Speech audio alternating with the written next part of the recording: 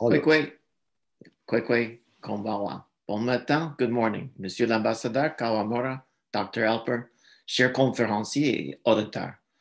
Mon nom est Scott Simon, professeur à l'École d'études sociologiques et anthropologiques et chercheur au Centre d'études en politique internationale à l'Université d'Ottawa.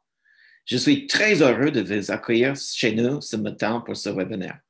Le CEPI, au centre de la capitale fédérale, est le premier centre universitaire du Canada pour l'analyse et pour le débat sur les affaires internationales.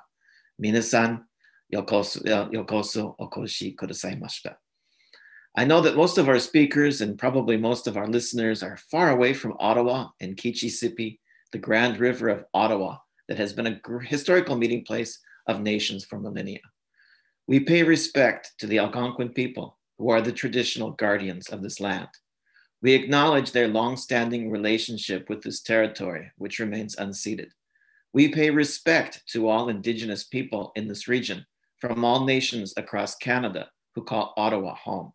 We acknowledge the traditional knowledge keepers, both young and old, and we honor their courageous leaders, past, present, and future. Kichi Miigwech. My own scientific work has long been inspired by Japanese scholarship, and I continue to work with Dr. Nobayashi Atsushi and other colleagues at the National Museum of Ethnology in Osaka, where I have been a visiting scholar. My own work, however, is only a small part of the scientific cooperation between this country and Japan. Algonquin elder William Commanda, who has an honorary doctorate at the University of Ottawa and a building named after him, invited many Japanese guests to his home in Kitigan Zibi, especially in his annual Circle of All Nations. He was so inspired by Japan that in 2009, when appointed to the Order of Canada, he cited Japanese scientist Dr. Emoto Masaru as one of the inspirations for his work of international peace and river conservation. When I visited the Ainu in Hokkaido, I learned that their ancestors had ancient trade routes that connected them to the Inuit. In modern times, Japan and Canada established diplomatic relations in 1928. When Canada opened its diplomatic mission in Tokyo, it was effectively our third embassy in the world, following only the United States and France. Canada and Japan, which share common values of democracy and human rights, now have very rich academic and scientific relations. The University of Ottawa is proud to be part of the Kakehashi project and has entered into agreements with four Japanese universities. Today's event is one more component of this unfolding relationship between Canada and Japan. We have faced many challenges together, and that long history has set the foundation for our scientific cooperation as together we address the COVID 19 pandemic. I thank everybody for coming here this morning. I'm looking forward very much to hearing what everybody has to say. I am very pleased to introduce His Excellency Kawamura Yasuhisa, who has been ambassador to Canada since November 2019, after being ambassador to the United Nations and having served in important leadership positions at Japan's diplomatic missions in India, in the United States, and to the OECD, among others. 難しい話を抜きにして、川村大使を紹介しますので、皆さん一緒に会計してください。川村さん、よろしくお願いいたします。Hi, uh, Dr. Simon, thank you very much uh, for your kind introduction with excellent uh, Japanese uh, language. Um, I'm not uh, confident uh, whether my remarks will be easier for you to understand, but I'll, I'll try my best. Thank you very much for your kind words. Um, Dr. Howard Alper, former Vice President Research, the University of Ottawa, uh, former vice chair, RIKEN Advisory Council, and chair, Global Excellence Initiative Canvassing Committee. Dr. Yuko uh, Harayama, Executive Director, charged of International Affairs at RIKEN. Ms. Uh, Ms. Melania uh, Killins, uh, Executive Director, International Innovation Office, NRC, distinguished speakers and audience. Good morning, good afternoon, and good evening. Thank you for uh, joining us in this seminar. Um, thank you very much to all uh, who greatly contributed to this webinar, especially the speakers and the University of Ottawa. Japan and Canada have enjoyed over 90 years of diplomatic uh, relations, as Dr. Simons uh, uh, introduced in the beginning. Uh, today, we have strong and positive relations that even covers the challenge of COVID-19. Since the inauguration of the Suga cabinet last September, uh, there have been uh, two rounds of telephone meetings between two prime ministers. In their latest meeting earlier this month, um, two prime ministers reaffirmed their cooperation in response to COVID-19 and climate change. Japan places high priority in its global leadership in science, technology, and innovation. The role of science and technology has become even greater during the pandemic and in the post-pandemic world. In order to respond to global challenges posed by COVID-19, the economy, security, and climate change, as well as rapidly advancing digitalization. The world's fastest supercomputer, Japan's Fugaku, is also contributing um, in the uh, response to the pandemic. For example, through coronavirus droplets simulation and drug candidates screening.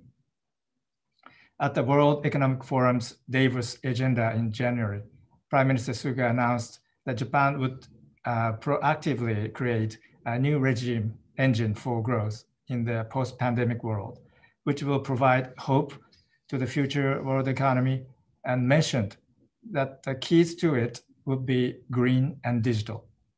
He said that in order to achieve 2050 carbon neutrality and advanced digitalization, Japan would put high importance on science, technology, and innovation and put all of our efforts together to lead the world in international joint research and international standard rule making in these fields. He announced that Japan would target a total research and development investment of 120 trillion Japanese yen in the next five years, proactively enhance the growth of STI, and host the Global Technology uh, governance summit in Tokyo this, this coming April with support from the World Economic Forum. Japan and Canada have been actively discussing STI policies and bilateral research cooperation since they signed the agreement on cooperation in science and technology in 1986. For instance, in April 2019, a Japanese company, Advanced Telecommunications Research Institute uh, International, ATR, and the National Research Council signed the MOU uh, during Prime Minister Abe's visit to Canada. Even during the pandemic, uh, we have signed additional cooperation agreements. For example, last year, the Japan Agency for Medical Research and Development and the Canadian Institutes of Health Research signed a memorandum of, cooperation and the Faculty of Medical Sciences of the University of Fukui signed an academic exchange uh, agreement and student mobility agreement with the Faculty of Medicine of the University of Ottawa. Moreover, last November, the NRC and RIKEN co-organized an online workshop on supercomputers, including the world's uh, Fugaku.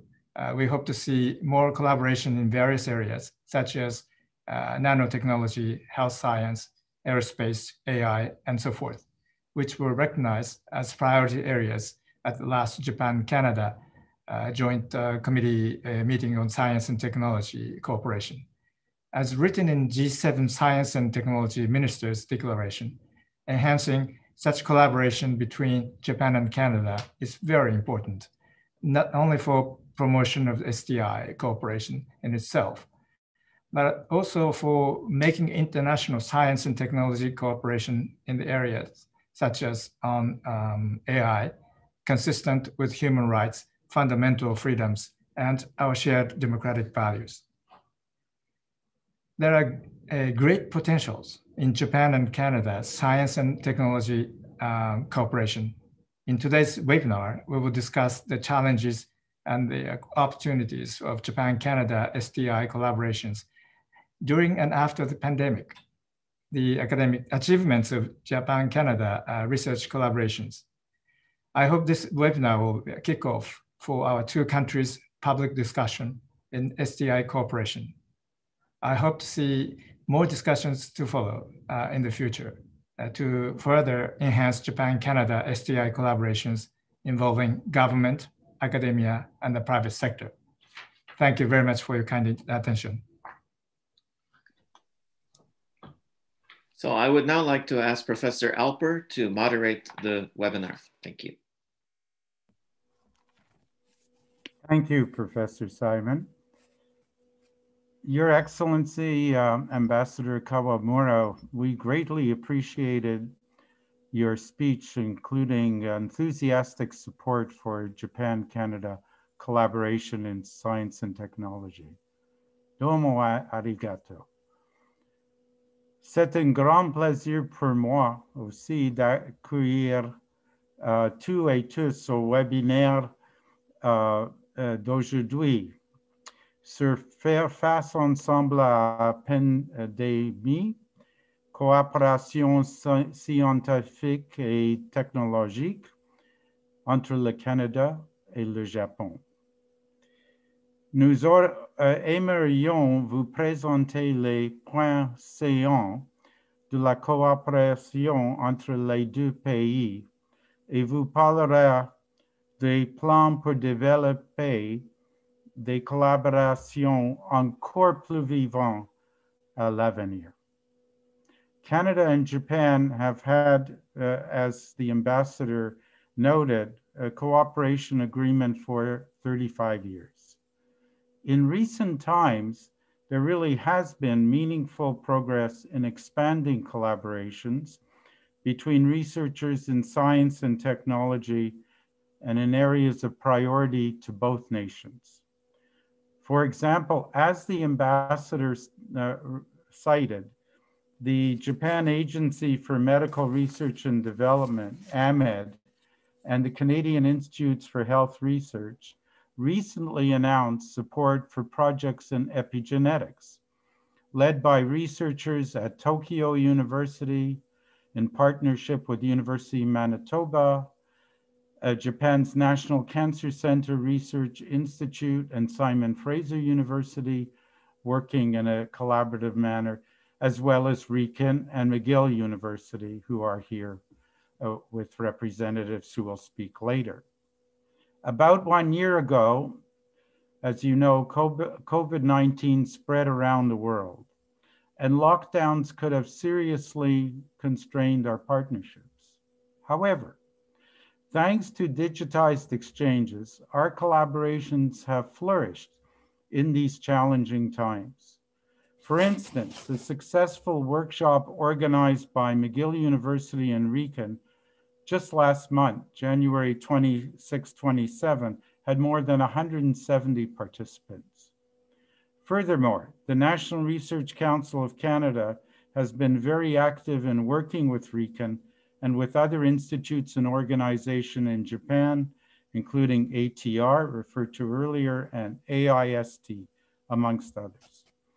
Our objective today is to provide you with highlights of recent and current Canada Japan STI partnerships, and to outline plans to develop more vibrant collaboration in the future.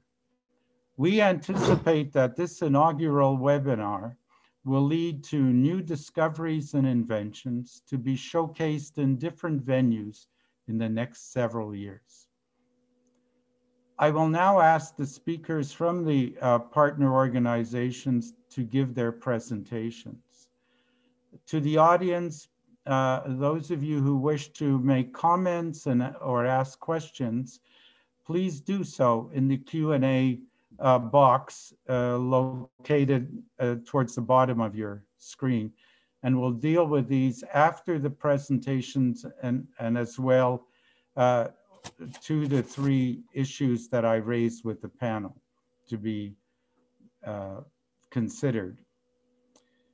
So I am delighted now to introduce Dr. Uh, Ms. Melanie Cullens to talk about NRC's activities on research and support for SMEs, small and medium enterprises, as well as cooperation during COVID-19 and beyond between NRC and RIKEN and with other organizations in Japan.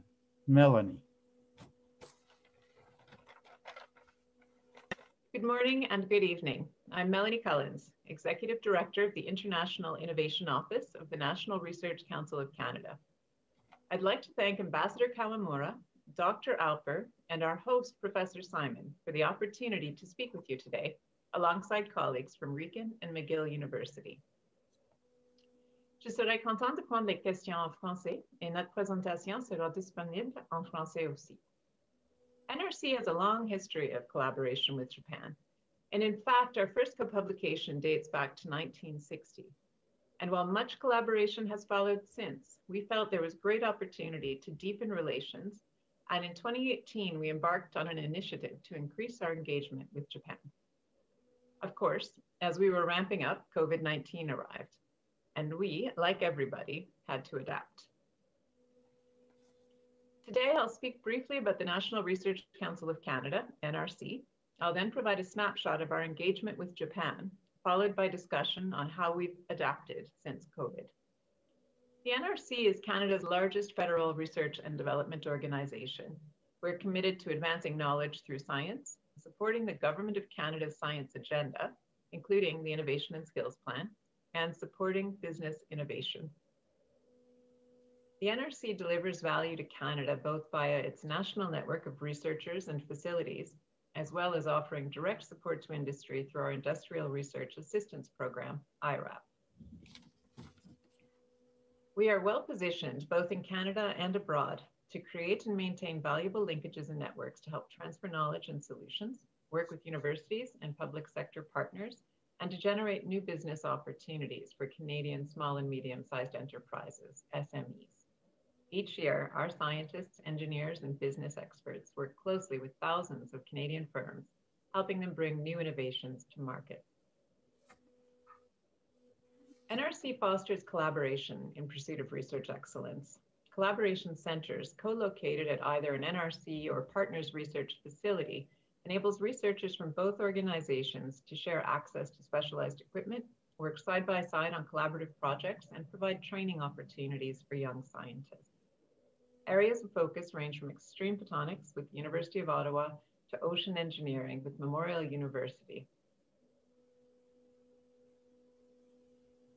In addition, NRC Challenge programs are designed to enable us to partner with public and private sector, academic, and other research organizations, both in Canada and internationally, to advance transformative, high risk, high reward research to address Canadian priorities.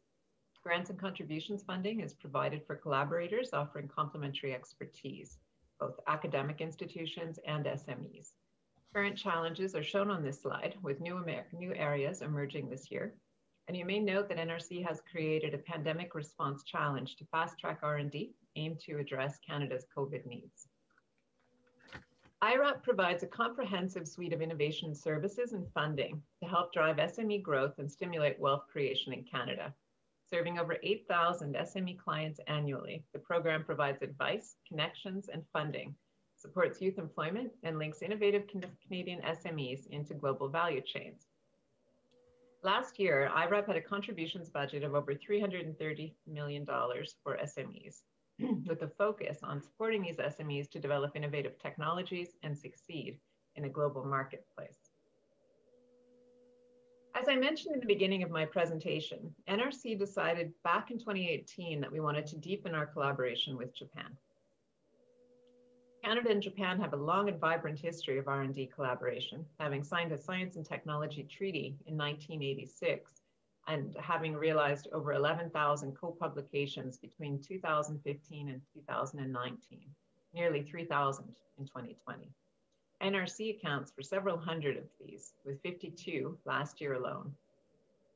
And I would highlight that despite our current inability to travel to Japan, momentum continues. NRC signed 22 agreements with 16 Japanese organizations in 2020 and another nine since January 2021.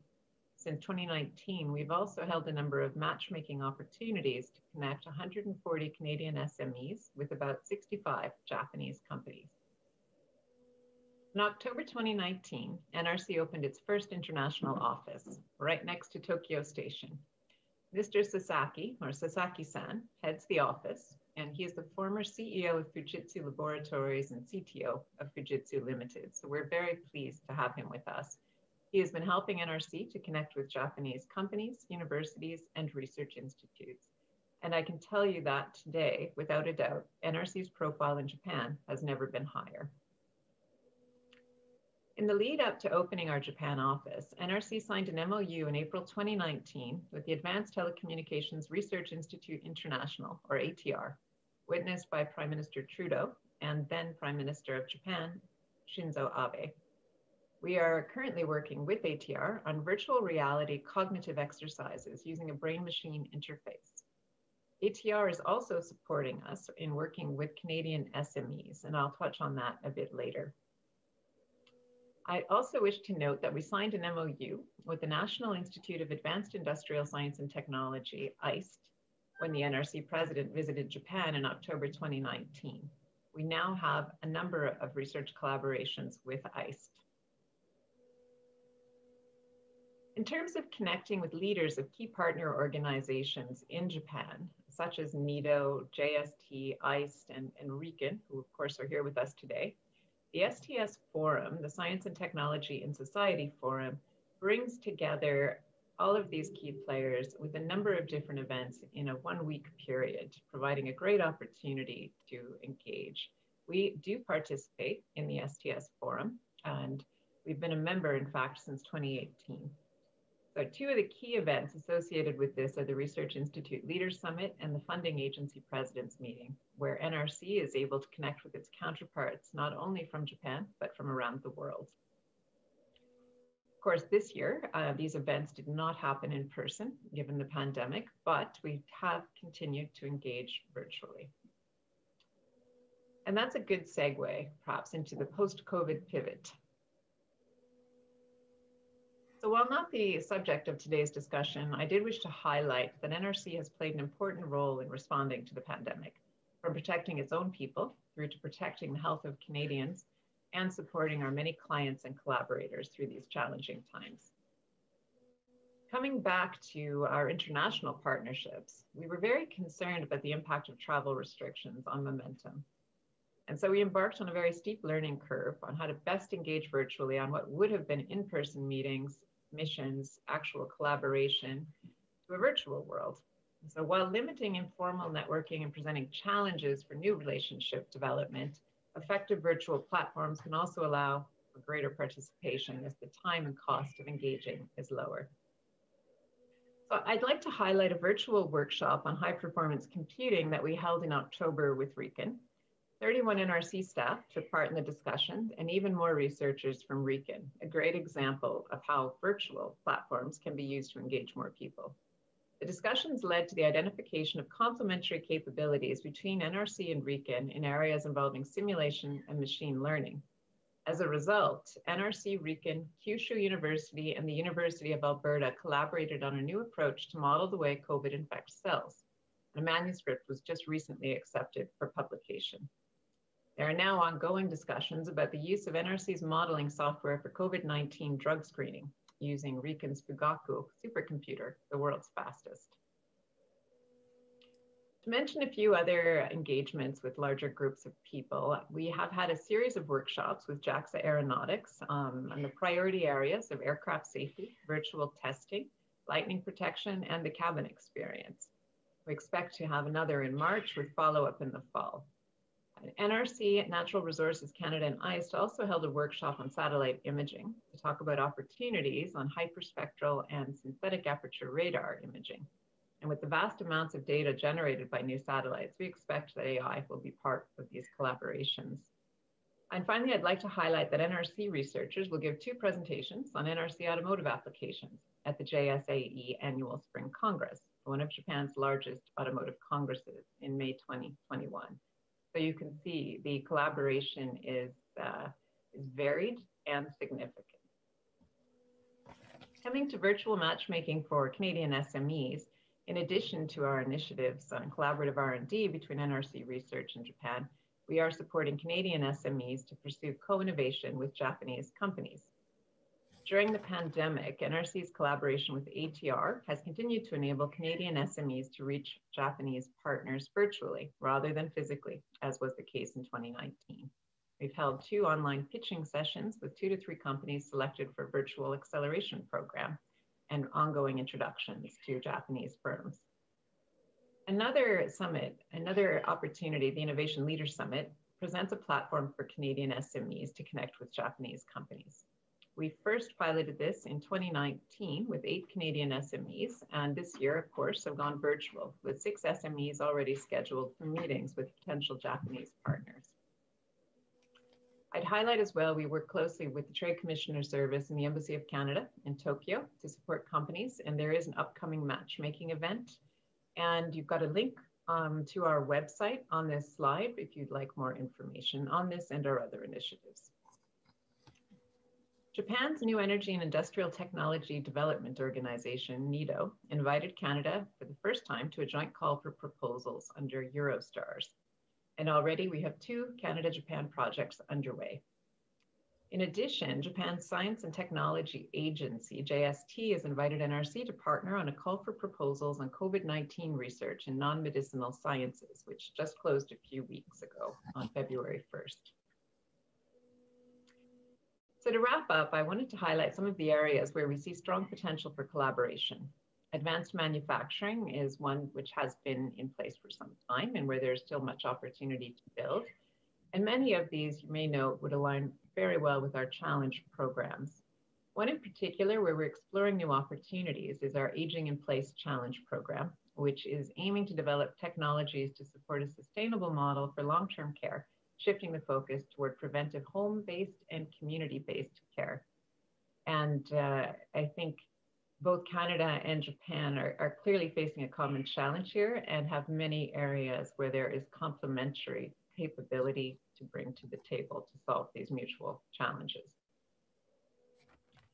So before turning the discussion to RIKEN, our highly valued partner with which we anticipate further future collaboration, I'd like to thank you for the opportunity today and I look forward to your questions and to our discussion. Thank you. Thank you very much, Melanie, uh, for that excellent presentation. It's a um, great honor for me to introduce uh, Dr. Yuko Harayama to tell us about RIKEN, its international activities, including those designed to mitigate against COVID-19. Following her presentation, Dr. Harayama will introduce Dr. Ta from RIKEN and Professor Lathrop from McGill to inform us of RIKEN recent outcomes and impacts of the McGill RIKEN partnership. Yuko. Thank you, Dr. Alper, for your kind introductions. Uh, Monsieur l'ambassadeur, chers collègues and amis, Uh, c'est un grand plaisir pour moi de vous présenter notre institution DICEM en quelques minutes seulement et de présenter notre stratégie de la collaboration internationale. Um, can, I, don't, I hope when uh, during the course of this year, you have opportunity to visit in person can site, but for the moment, we still stay with virtual one. So RIKEN is a National Science Institute, um, Japan's most comprehensive research institute, devoted for natural sciences, uh, including physics, chemistry, plant science, nuclear physics, engineering, health, medicine, and AIs, and many others, and conducing cutting edge research in a wide range of scientific fields. And we have celebrated 100 year anniversary in 2017, so long history. Uh, we have more than 3,000 staff, uh, including one quarter non-Japanese. It's much more than average Japanese institution. And we really engaged to really have international collaboration. So actually we have 260 trees. And also we have many sites and laboratories represented with 12 centers and eight facilities, including, as we discussed already, uh, high performance computing infrastructure, uh, FUGENS, and also um, many others, including synchrotron radiation facilities. And uh, in Japan, we are mostly uh, recognized uh, scientific institution with uh, more than 2,500 papers published and high cited papers. So uh, related to the strategy uh, for international collaboration, we have three main axes. One is through people, recruiting and fostering global leaders, uh, receiving from abroad uh, researchers and young scientists, and also sending from Japan. And this is really a tying uh, between several countries and in particular with Canada. And also we try to establish and manage global research centers. So we have our campus in Japan, but we have many joint laboratory within Japanese universities, but outside Japan, we have several research centers. And also we have to work on global scale problem uh, for sustainable society. So we are tackling uh, SDGs and also trying to collaborate not only in Japanese context, but globally. Related the relationship with, between RIKEN and Canada, you have already so many collaboration with Canadian institutions. As already mentioned, we had recently uh, last year, RIKEN NRC high performance computing workshop and also we try to have really um, developing collaboration uh, between several centers in RIKEN and NRCs. Related universities, we have McGill universities with MOU and not only on the paper, but concretely taking action to have very ongoing project we will discover just in a few minutes and with the University of Toronto, uh, Montreal Institute for Learning Algorithm, and we are working with on AI, with the Vector Institute for AI, and the brain science, and not only uh, research collaboration, but exchange of people. So, for example, we have the participant from Brain Canada uh, coming to the Ken on site for CBS uh, summer schools. Unfortunately, last year, we have been limited to exchange in person, but we did some exchange virtually, and hopefully this, will, this year we will have more exchange in person. So just to summarize, um, RIKEN response to COVID-19, uh, even our research activities have been reduced to, due to COVID-19 uh, propagation, but we, we kept uh, ongoing uh, all the research proposal related to COVID-19. So first of all, to better understanding uh, SARS-CoV-2 and developing diagnosis tools. And also we try to develop therapies and vaccines. And uh, we use our high computer computing uh, to have simulations and prediction using Fugaku. And not only on the life science bio domain, but we try to understand social reactions. So combining AI tools to really having understanding and social impact of COVID-19.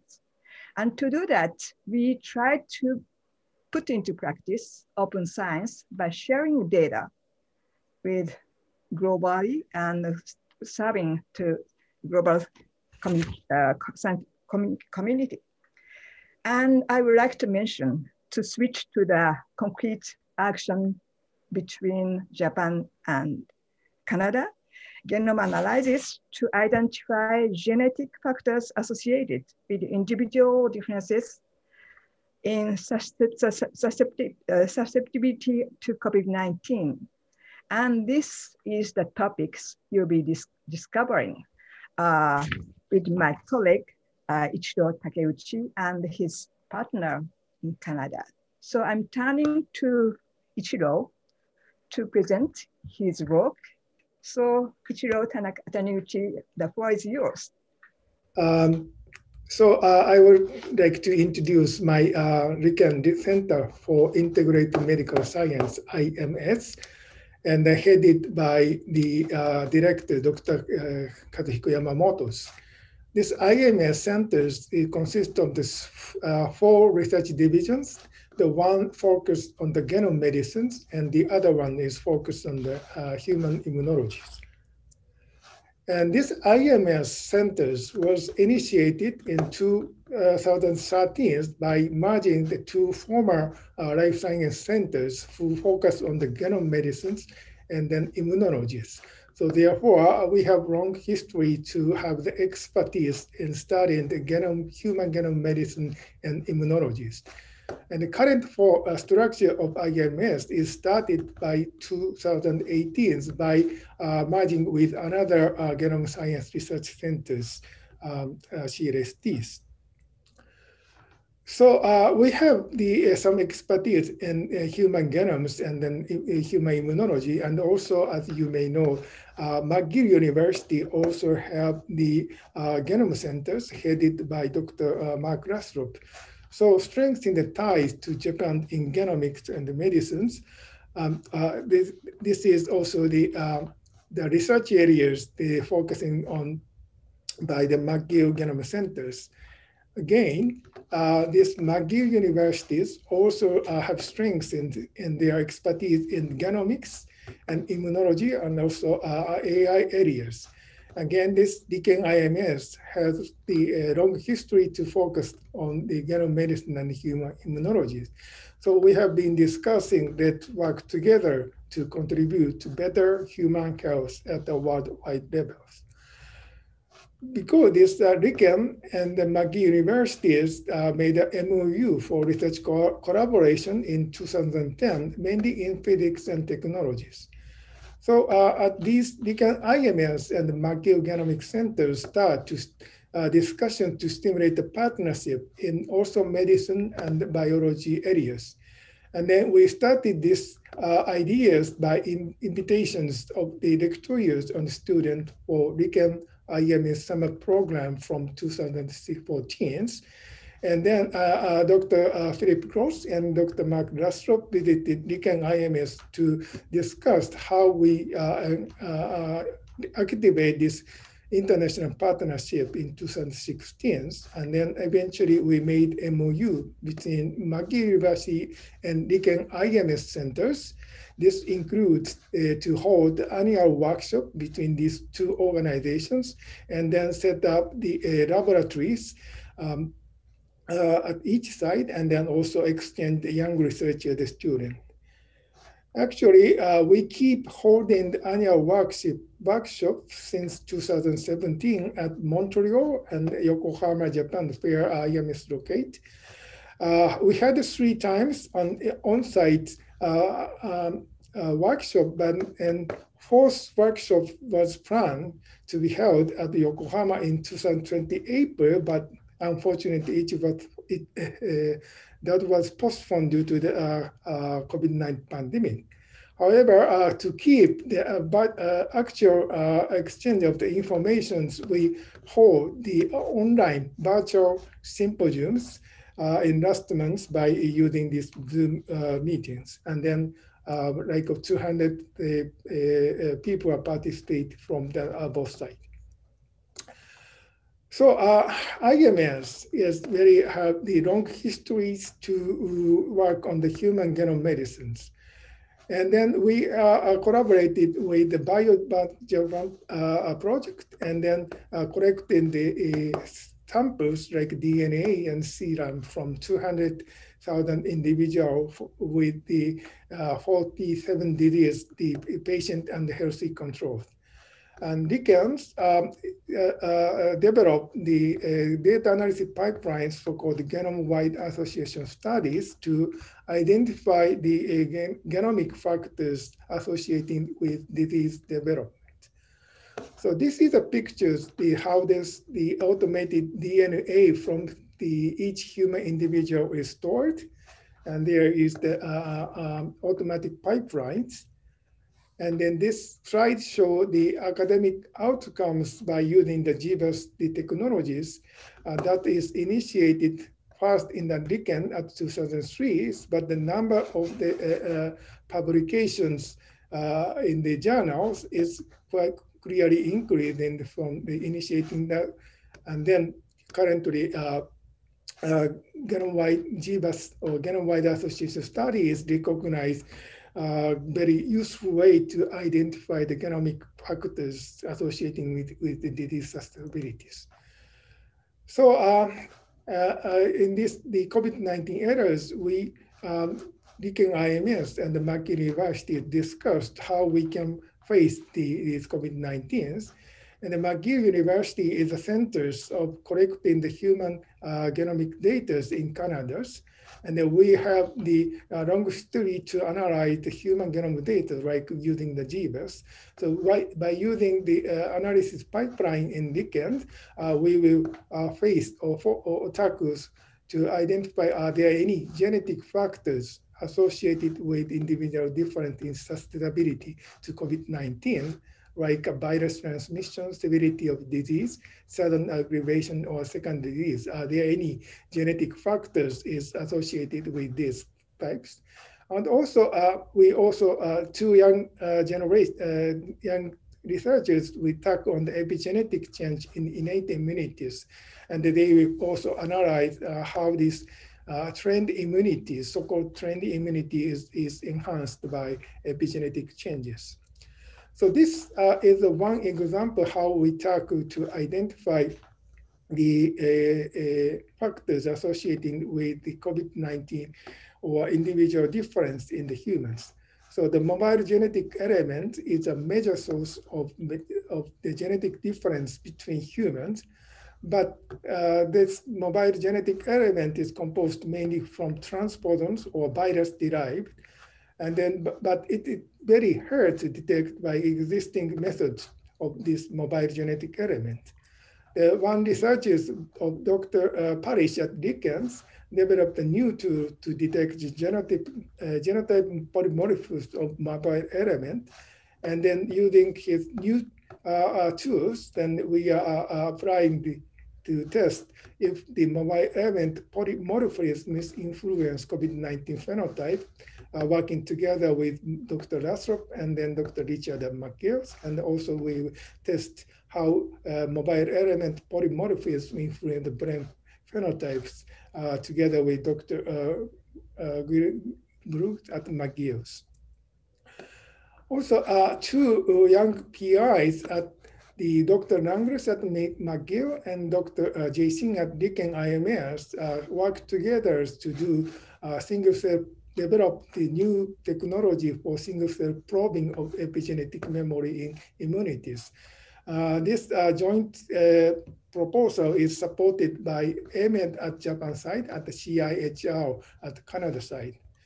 I don't go the details, but the, uh, they try to understand the chromatin, high dimensional chromatin structures and try to develop the new technology called single molecule chromatin captures and the further uh, develop the, the, apply this new technology to understand this high dimensional chromatin structure at the single cell levels.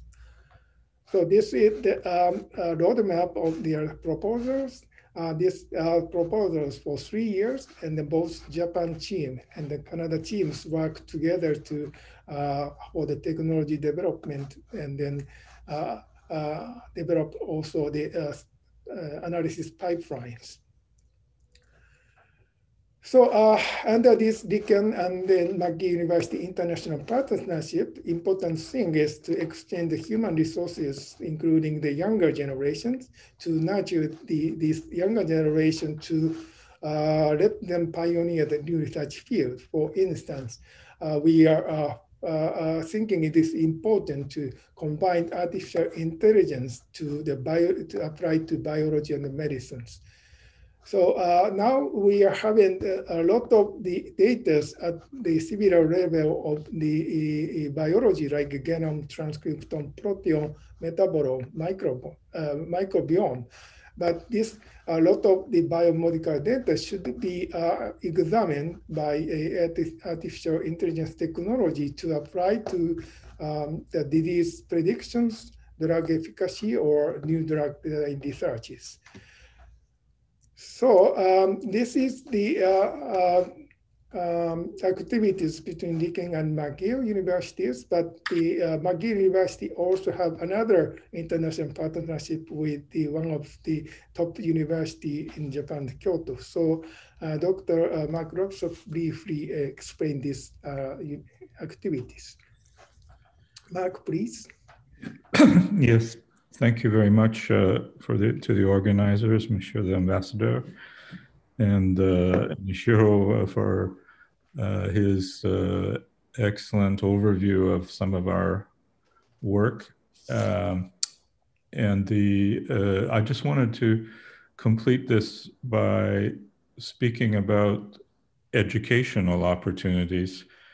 RIKEN is not itself an educational organization Institute. Uh, and but but we're very keen, uh, certainly at the University of McGill, to encourage uh, exchanges for our young investigators and our students. And indeed, international exchange for students in PhD programs is increasingly worldwide an important feature of, of training. Having experience in multiple research systems uh, is a is is a important for career development. In fact, can be career changing for for for for students. So. Uh, and we would we want to exchange uh, students with uh, with RIKEN, and so one of the things that we've done is to set up a joint uh, Japan Canada PhD program, which will allow, uh, amongst others, uh, opportunities for students, the ability to to to undertake uh, their research or part of their research with the RIKEN. So this is a McGill Kyoto Top Global University program, uh, which was uh, uh, a program which was set up by the MEXT uh, a number of years ago.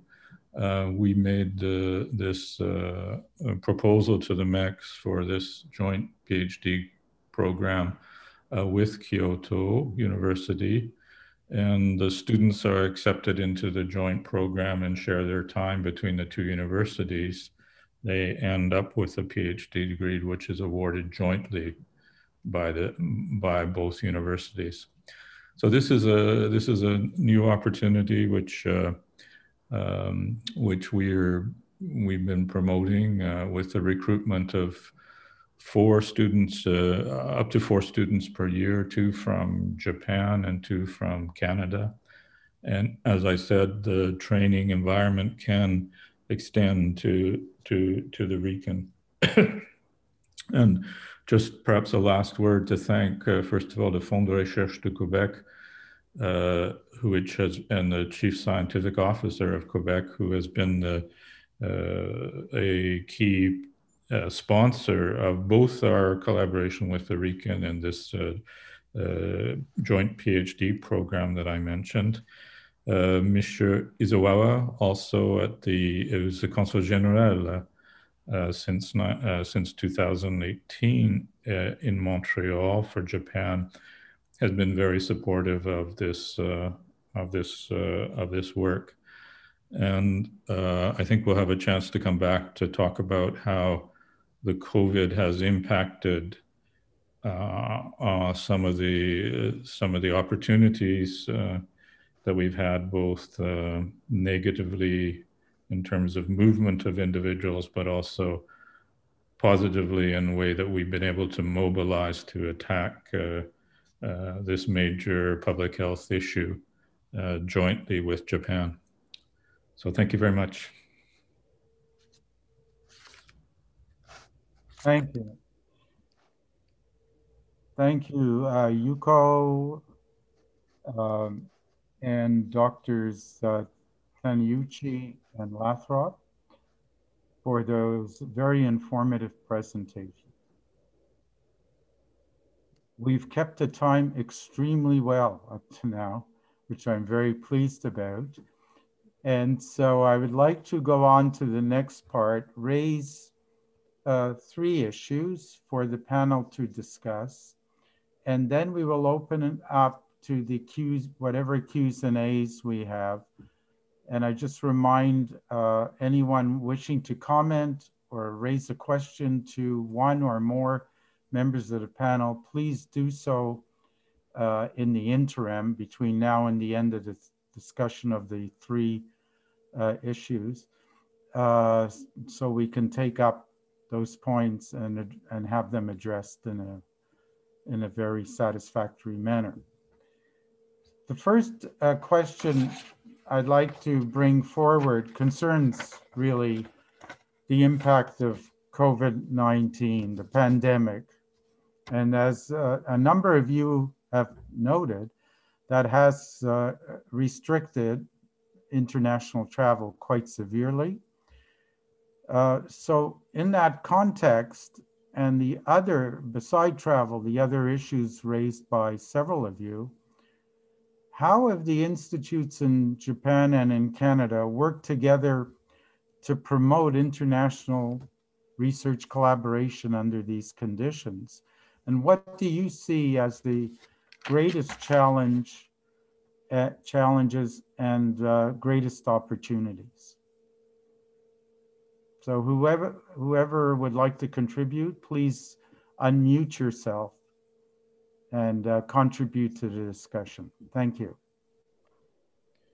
Great, thank you. So maybe I will start. Um, I'd say, first of all, that we were pleasantly surprised at the momentum we were able to keep. I think where we've had existing relationships in areas where we can work virtually, um, such as with the supercomputer. Um, so digital uh, areas of that nature certainly are, are easier to manage.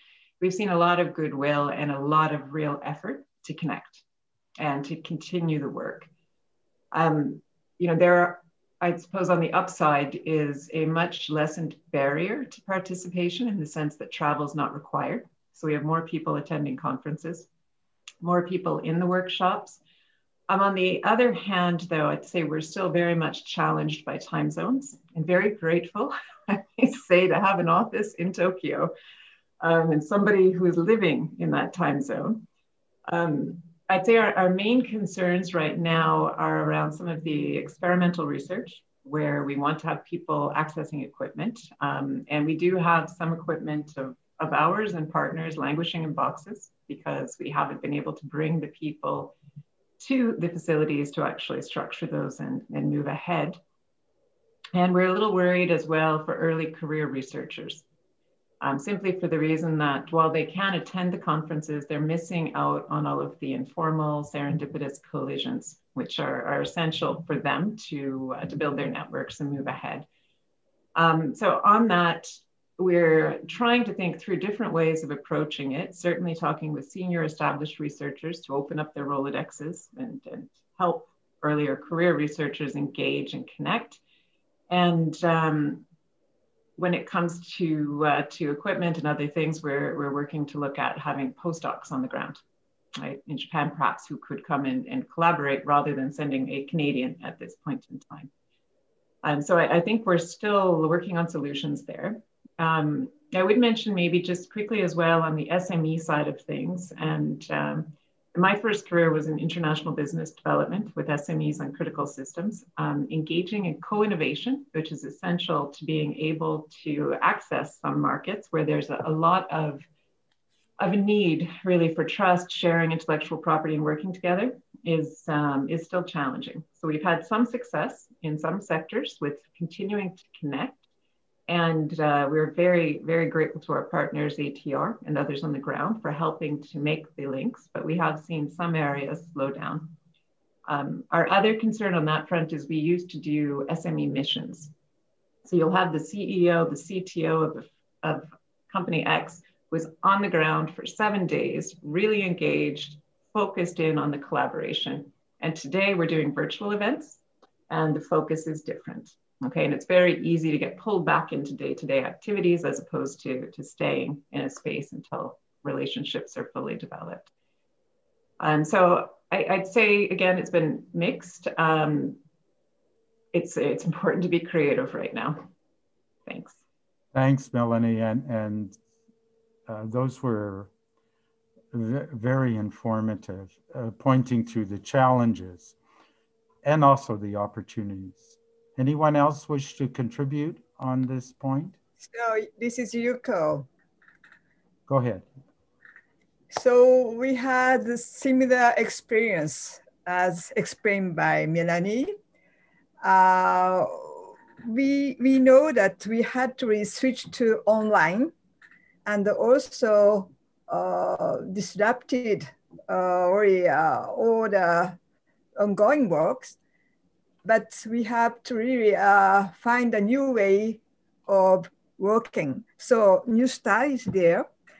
And really, uh, we have some kind of positive side of this disruption is that you can attend any meeting uh, staying at home. And also we have more successful seminars, uh, not only particip participated by Japan, but internationally, it's so easy to set up international meeting and no cost and no carbon print, uh, footprint. So it's positive aspect. But as uh, has been said by Melanie, if you know already each other, it's quite easy to switch online. But if we are looking after a new partner or if you are a newcomer in the science field, early career researchers, it's, there's no way to really chatting or really uh, sharing your concern in a spontaneous way. So by the past, we had serendipity really playing huge role. But today we have to design intentionally this kind of serendipity. And it can be done online, but we have to carefully arrange uh, additional meeting beside the formal meeting in the way that people may uh, find some new partners, but in not the arranged way. So that's something that we are exploring and we feel quite comfortable after one year experiences and we can switch into the more hybrid type of meeting. Uh, that's where we are. And in particular, for those who are working in a wet lab, it was catastrophe at the beginning. But now we can uh, try to really set up secure environments within laboratory in the way that they can come to work on the wet lab but uh, limiting the number of people within. So we know how to deal with it. So it's ongoing process, but I'm not so desperate. Yeah, thank you. That, those were excellent comments. Mark, you wanted to make comment. Yeah, I had a few comments. Uh, of course, I, I agree with everything that's been said. Uh, and certainly it's the, the situation has promoted changes in the way that we organize meetings and that uh, can be have successes uh, as we found out with, for example, with the McGill recent McGill RIKEN meeting, which attracted a very large audience because of its virtual nature.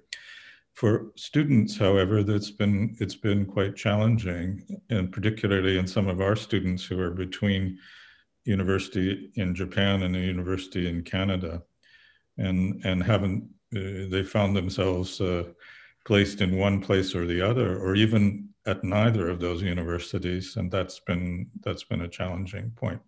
But but many of the activities we have in genomic medicine or biology in general have become quantitative.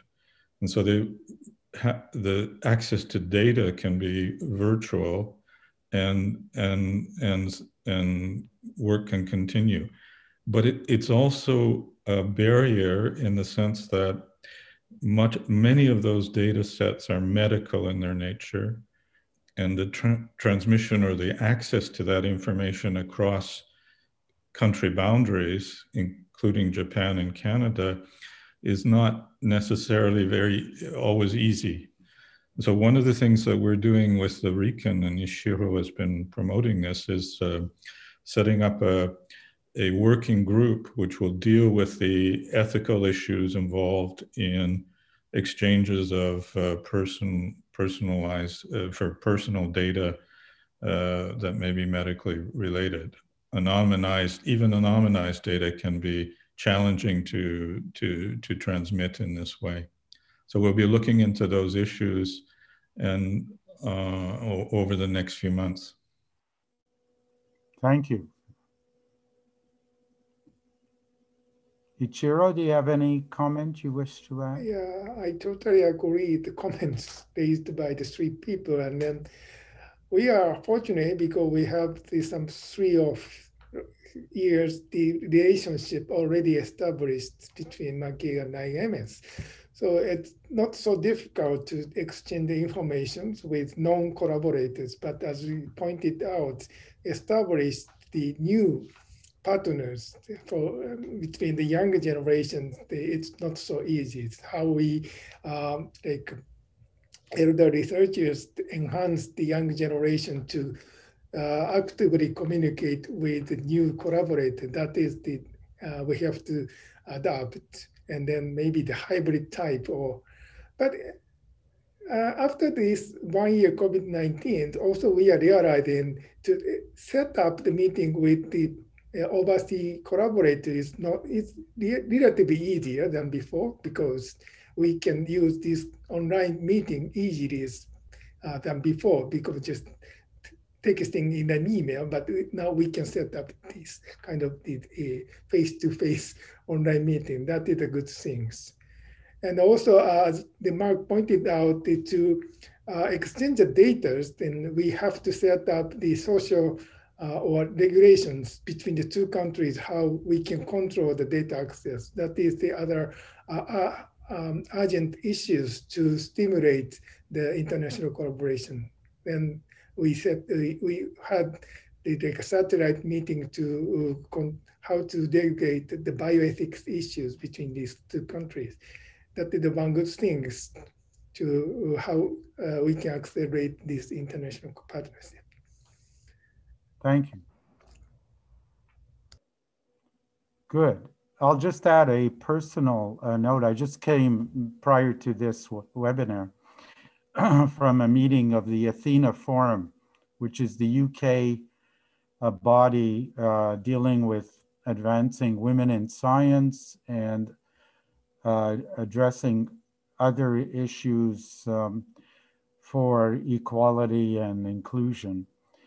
And it's very interesting. The, the last chair, a professor of Cambridge, from Cambridge, made a very good point uh, about meeting in person rather than on Zoom or Microsoft Team, et cetera, et cetera. And he said, um, the main advantage of being face to face with somebody or a group is the flow of ideas. No matter how informal you try to make it online, it's not so easy to achieve. It doesn't mean it will can't be success, but recognize the challenge from a social point of view, which impacts uh, new ideas, new discoveries, etc., which I thought was an Excellent point. Thank you for that. Let's go on to the second um, issue. So we have participants uh, watching. Uh, there are 58 altogether uh, as of now, and they come from various backgrounds. Could you tell us how the accomplishments or achievements out of the research collaboration between our two countries, institute and university, et cetera, et cetera, how they can be or will impact uh, daily life or contribute to a better society, more successful society. Anyone who wishes to speak of the previous speakers.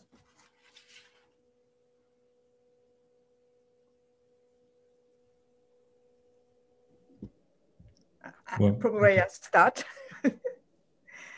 uh, it's a big question because uh, nowadays almost all scientists uh, are request to contribute not only in science but also serve society, yeah. uh, addressing uh, societal challenges, global challenges, and we are moving more and more in this way. But in fact, according to on which topics you are working, you are quite far from societal issues and probably you are within. And these differences is really um, uh, perceived by some scientists. And what could be interesting is really uh, exchanging ideas and the situation with different backgrounds scientists uh, to better configure and shape your mindset. And that's uh, much easier to go outside Japan because in Japan, the way we are training scientists, it's quite still in the traditional way. You have senior faculty members and uh, at the top, and you are following, uh, you know, traditional way.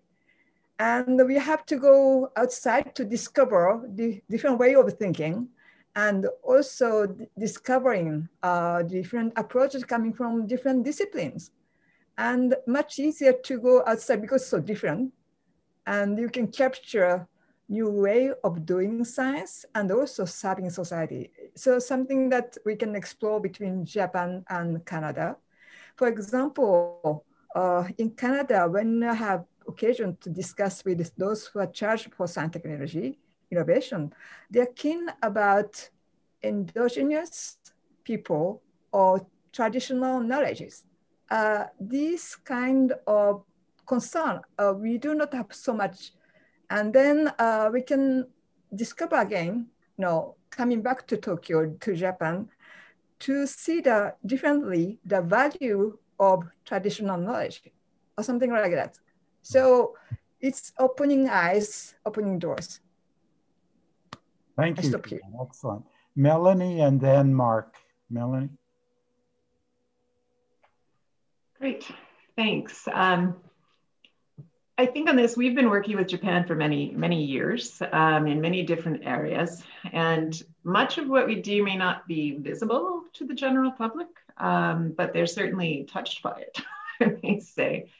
Um, so I think, for example, about electric car batteries, where we've worked jointly on making sure they're safe. Okay, so, uh, so that's uh, to me uh, an important outcome. Um, we work together on metrology um, so things like measuring the kilograms so that we can enable trade. Um, on the construction side, we've worked with Japan to help them understand how to build wood construction, right? And, and to feel safe in wood construction. And um, I suppose one other I'd mention is maybe carbon fiber for, for aircrafts, where we've done work together. So it's, it's quite varied. And um, while there isn't always a lot of fanfare, that that research is leading to real results for for people. And I, I would agree uh, with Yuko that we're more and more challenge and mission based and trying to look at taking advantage of science towards solutions, but it does take time. And, um, and you often have serendipitous results, which will also show up. Um, for us as well, part of our our focus is on trying to ensure that what we are doing um, and learning and the knowledge we're creating is transformed to be useful. And so we do have, um, with that, of course, our, our own business services working directly with industry to ensure that uh, we're able to commercialize. And together with Japan, we have been focused as well on some of the large uh, Japanese firms and trying to connect those dots so that we can ensure that the results of our research are, are useful on a global basis. Thanks so much for that uh, excellent comment. Mark? Yes, I just, the, the McGill RIKEN collaboration, as you heard, was uh, around the in the field of genomic medicine. And medicine is being transformed by our approaches to this using different new biolo- biology technologies to become much more of a personalized uh, uh, type of um, medicine or precision medicine, as it's called. These the the emergence of this is uh, being driven by uh, the type of research that uh, that uh, Ichiro was speaking to in our collaboration, and you know has has many potential for transforming the health of our populations. The important point here, though, in the international collaboration is that um, that, or an important point is that the differences between, or the contrasts between health issues in different countries and different ethnic groups is a very important feature of the type of work that we're doing so that by bringing together information from Japan and from Canada, we get much better understanding of both how the, the biological factors are impacting health differently because of different genetic makeup, for example, but also how those factors interact with different environments for example, the way the nutrition uh, that that people have in in different countries. And if you look at COVID, it's a it's you know we've we've been working very hard and as immediate response to the to the pandemic, but we have to think that COVID will be with us for a very long time because of the the long-term sequela of the of the disease and understanding how that differs in Japan and in Canada will be very important. In, in more generally in our aging populations, understanding again how the features are similar and different in Japan and Canada will be a major contributor, I think, of our collaborations. Thank you. and I'll just note, for, for instance, our different attitudes toward vaccine implementation and accepting of vaccine in different countries and in different population groups within a country uh, is quite remarkable around Okay, uh, Chiro, anything to thing to add or are you okay? Um, I'm fine, but this I think this the demand from the so societies may differ in each countries, and the, we are now talking mainly about Japan, Canada. That, that, that these two countries have very similar demand in, in the social. But if we look over the other countries, is the one finding in the in any scientific areas can be applied. It's not so important in own country, but it can be applied to other countries.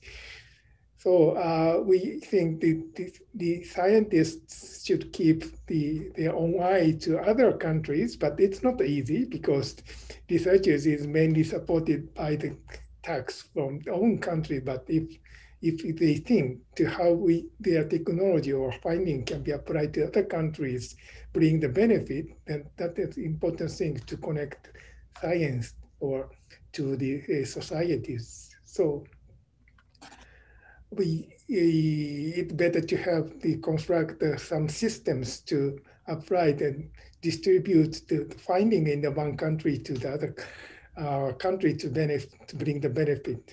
That that Yeah. is my feeling. Thank you for that.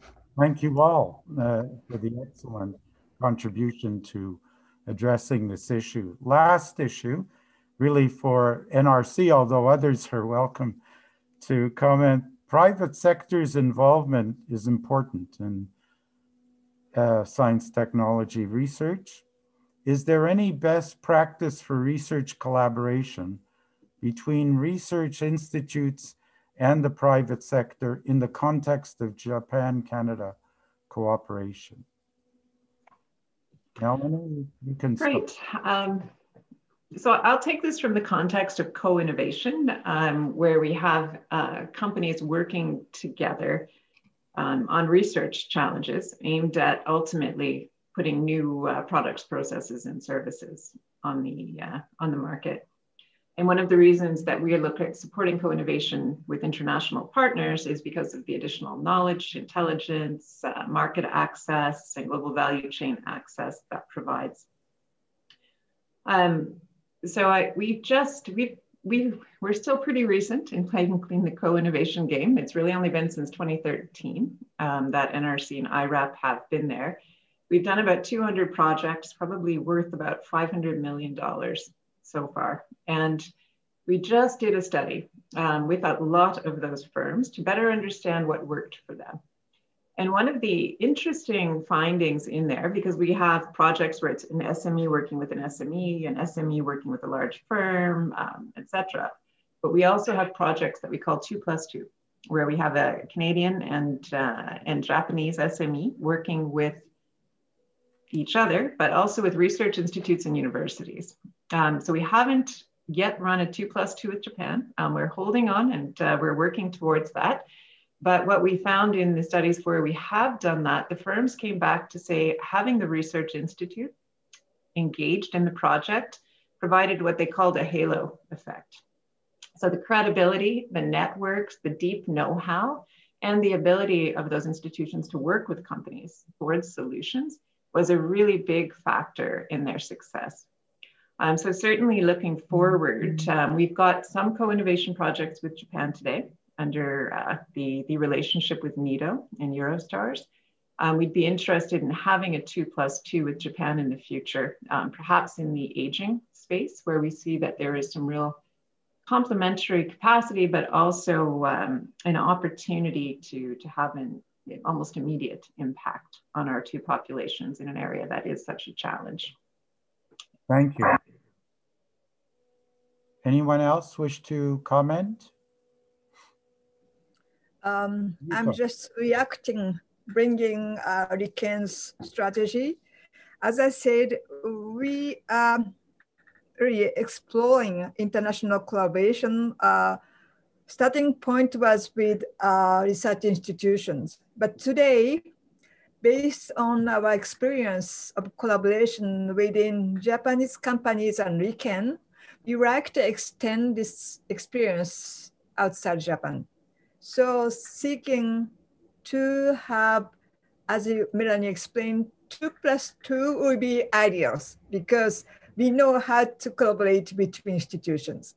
But we want to associate uh, additionally uh, private sector, but uh, they should be um, trained in some sense to have collaboration with such institutions. So probably that's one way to really uh, engage bringing a private sector within.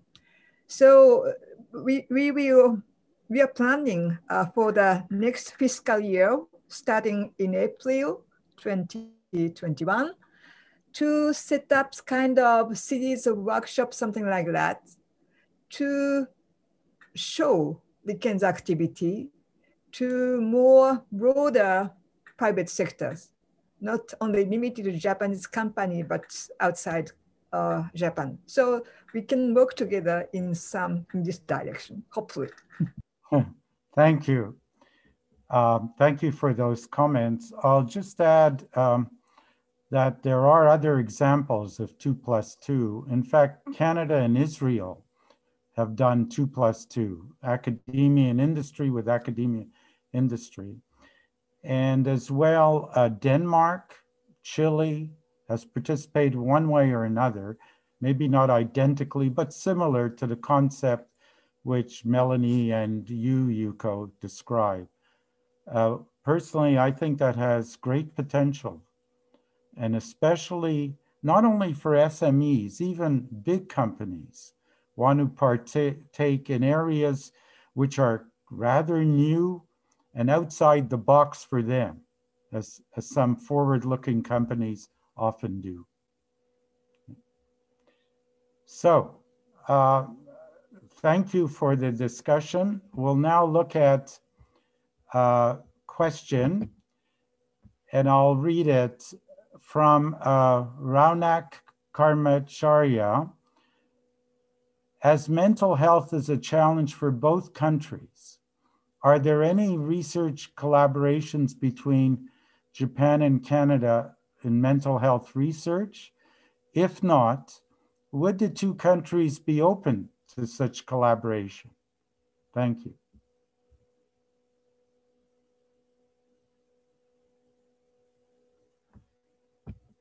Anyone wish to uh, comment?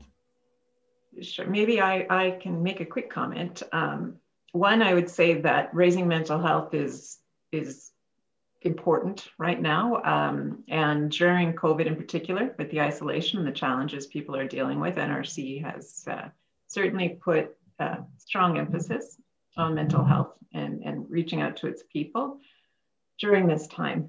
Um, we would like, as I'd mentioned, to talk about aging in place as one of the key areas of, uh, of focus with Japan. And while we are not dealing with mental health per se, what we are working on are many of the tools, the instruments, data mining, and AI that might help to identify when there is a challenge um, and somebody might need an intervention. So certainly that could fit within the scope of, uh, of an aging challenge. Thank you. Any other comments in response to the uh, question? Okay. So that is the only question I, I have in the Q&A box. Um, if there are no others, then um, I want to uh, first thank you for the discussion, for your presentation discussion. And what I'd like to do now is summarize uh, the discussion and uh, with some comments read the future. I think the presentations and discussions today really demonstrated the vitality of the Japan-Canada cooperation in science and technology.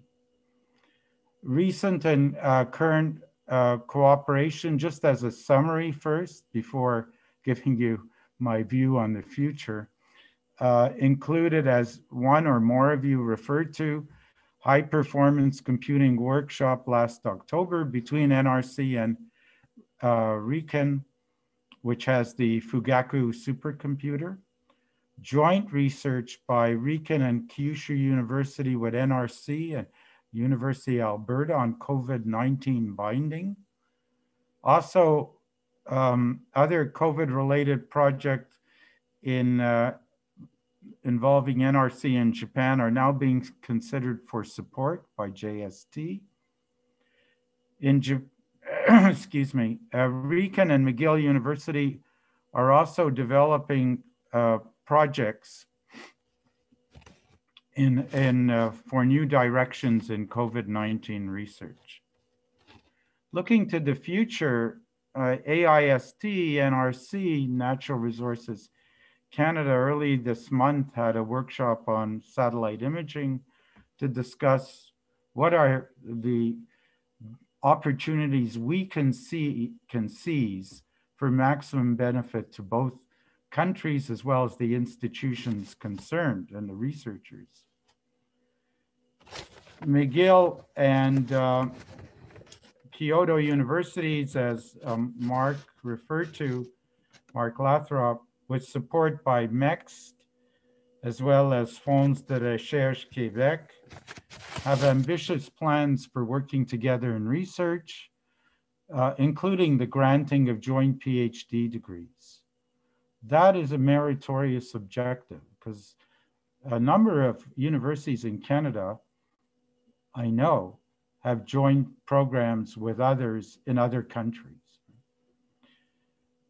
The new Institute for Advanced Study of Human Biology uh, will be the centerpiece for this bold initiative. In the private sector, less than three weeks from now, it was noted that there'll be a matchmaking event in innovation to create new collaboration in the private sector. And as well, I should add, they should also consider two plus two because of the added value therein. So all that I mentioned and more possibilities like new joint research centers. You're well aware, I, I think, that other countries do this quite often. Chile and Germany, Chile and France, China and Australia. Canada has one, only one, with India. And uh, because that was not exactly well constructed initially, as the then Minister of Finance told me, we need to be cautious before we scale this up. But I think now is the opportunity to um, to create new opportunities for Japan and Canada, not only in the areas mentioned, but in other areas of national priority, be it connected to climate science, energy, etc., etc. So I hope uh, you have found this uh, webinar not only interesting, but stimulating. Uh, there's a closing note I want to refer to based on experience of a former student of mine, Kathy Crudden. Kathy is professor at Queen's University and professor at Nagoya University in the Institute of Transformative Biomolecules. She's one of the best organic chemists in the world and materials. Recently, she received an American Chemical Society Cope Scholar Award, for instance. What, what I want to convey to you relative to working in partnership was in the middle of her PhD, Kathy expressed to me desire to go elsewhere for even three months. And I said, Where would you really like to go? And she said, Japan. And so I've had uh, wonderful relations with Japanese. Been to Japan more than 43 times, I think 44. And I contacted Shinji Murai at Osaka University, who's a great chemist, and he instantly agreed. That experience by Kathy Crudden, I would uh, uh, say, transformed her life. She came back energized, learned a lot of Japanese in that time, became more fluent since. Ambassador, you're welcome to speak to her and get her advice. She, uh, so she runs two research groups, one at Nagoya and one at Queen's. And uh, that experience showed the other students and postdoctoral fellows in my group um, why such exchanges are valuable. And it inspired some of them to then go elsewhere, to other countries, and to Japan, by the way. And from Shinji uh, lab, I've had students who are now well-known professors and people working in industry in Japan. And finally, Kathy is a very close friend of Ryoji Noyori, Noyori-san, who won the Nobel Prize in Chemistry some years ago uh, and has benefited from uh, discussing with him often, not only chemistry, but life. So with that, I will uh, ask uh, Dr. Uh, uh, Simon to formally close the webinar. Scott? So I would like to thank everybody for the discussions today. I have found this to be very, very inspiring. And I think that one of the, my takeaways is that science has a very strong social side to it, which is why we actually have to get back to those in-person meetings. I think that bringing this back to international policy studies, because that's what CIPS is all about. I think that this meeting has shows that Japan and Canada share many values that can also guide our cooperation on science and technology. And I think that includes ethics, which uh, Dr. Lathrop brought up in this sharing of medical data, um, but also there are issues of intellectual property rights, human rights, et cetera, that can be discussed at other events. But all of that leads me to conclude that we really can prioritize and should prioritize new STI cooperation and educational cooperation between Canada and Japan. So I hope that this is another milestone on a long relationship in science and technology between Canada and Japan. And I want to thank everybody. Merci beaucoup, chi miigwech, and um, arigato gozaimashita.